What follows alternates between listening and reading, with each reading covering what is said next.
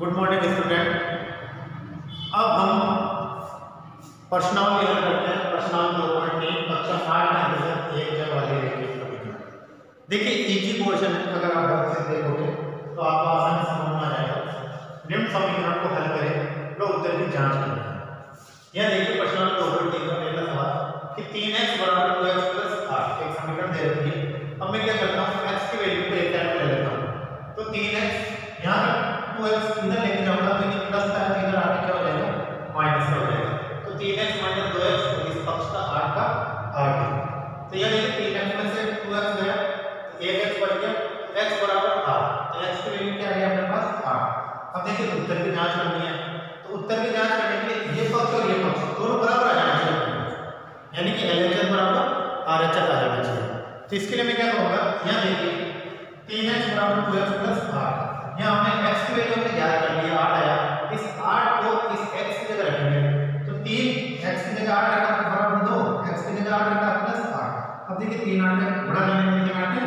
चोवीस. तर दो आठ सोळा. प्लस ना?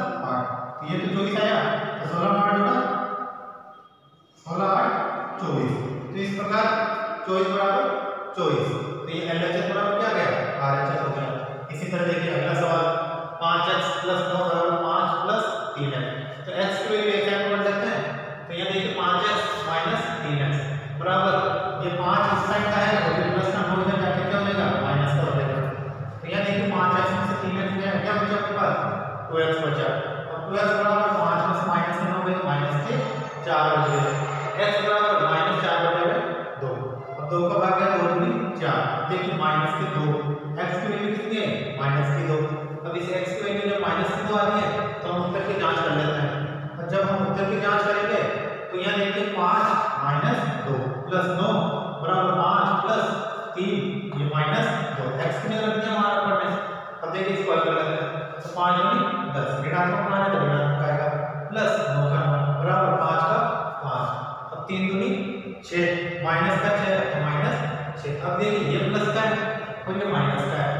10 में से 10 माइनस में प्लस में हो जाएगा तो माइनस का एक।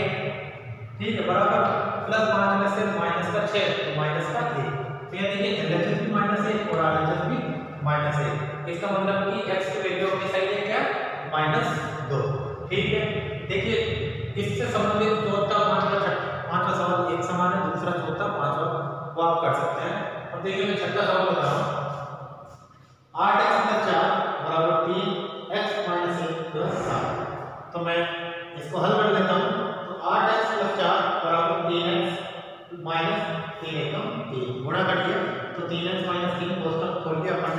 प्लस सात और एक्स की वैल्यू उधर लेके जाता हूँ मैं तो आठ एक्स प्लस का इधर जाना माइनस हो जाएगा।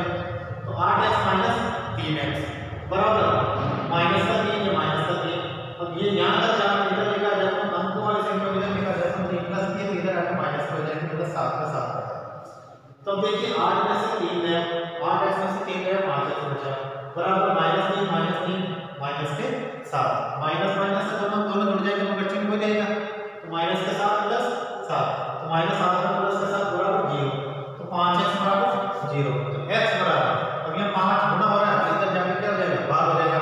तो ज़ीरो में पाँच का भाग देंगे तो एक्स बराबर ज़ीरो। तो अपने पास एक्स की वैल्यू कितनी है? ज़ीरो आई तो उत्तर की जाँच करते हैं। एक्स की जगह क्या रखोगे? ज़ीरो रखेंगे। तो आठ एक्स की जगह ज़ीरो प्लस चार। तीन ज़ीरो माइनस एक प्लस सात।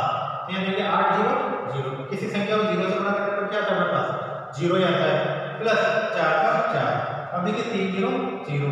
माइनस तीन एकम, तीन प्लस सात। तो यहाँ देखिए चार का चार, माइनस तीन प्लस सात तो माइनस तो ये प्लस के चार। तो यहाँ चार एल एच एस बराबर चार आर एच एस इस प्रकार x की वैल्यू अपने ज़ीरो आई है, वो सही है।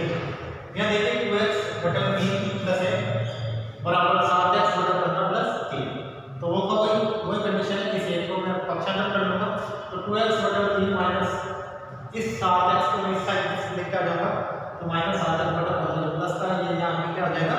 माइनस हो गया। बराबर तीन इस पक्ष का है? और ये माइनस का ये प्लस है तो इधर आके माइनस हो जाएगा। तो यहाँ देखिए, तीन और पंद्रह एलसीएम भी अपने पंद्रह होगा तीन की जगह पंद्रह, पाँच गुना बढ़ गया।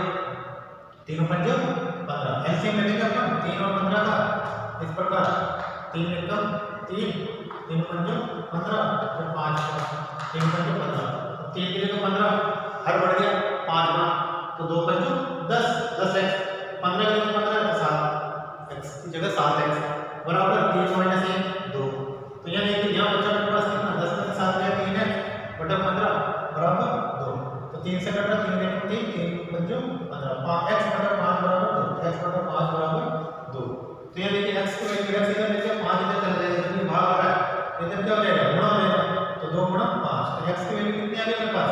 10 x की वैल्यू आ गई मेरे पास 10 अब जब x की वैल्यू 10 है तो मान लो 2 और x था तो x की जगह 10 बटा 3 प्लस 1 7 गुणा 10 बटा 15 प्लस 3 तो 10 गए 10 गए 20 20 बटा 3 प्लस 1 बराबर 70 बटा 15 प्लस 3 तो अब यहाँ देखिए, तीन की जगह तीन तो बीस प्लस ऊपर में तीन गुणा पड़ेगा तो तीन।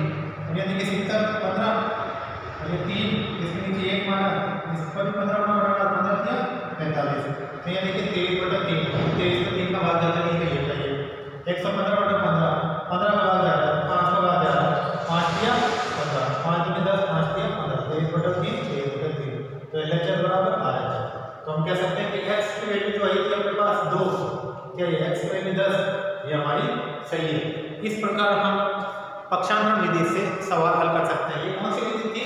पक्षांतरण विधि। और पक्षांतरण विधि से प्रश्नावली दो पॉइंट तीन आसानी से हम हल कर सकते हैं।